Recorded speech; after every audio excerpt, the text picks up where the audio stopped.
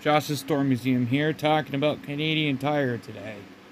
Canadian Tire is a tire company out of Canada and here's the history of it.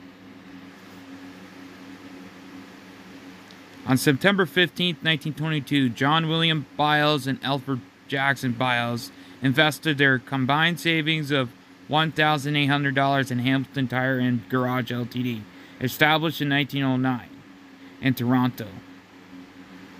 In 1927, with incorporation of the name Canadian Tire Corporation Limited.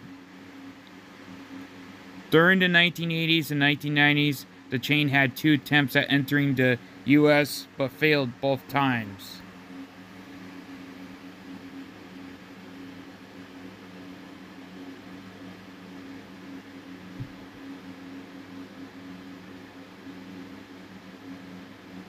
Canadian Tire doesn't just sell tires, they also sell automotive, hardware, some groceries, clothing, house housewares, etc.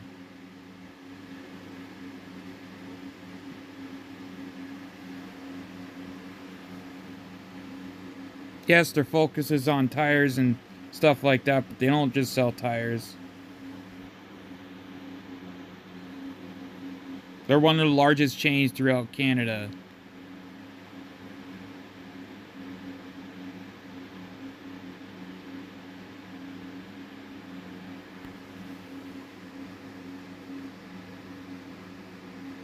And that's Josh's Store Museum, Canadian Tire. Thanks for watching.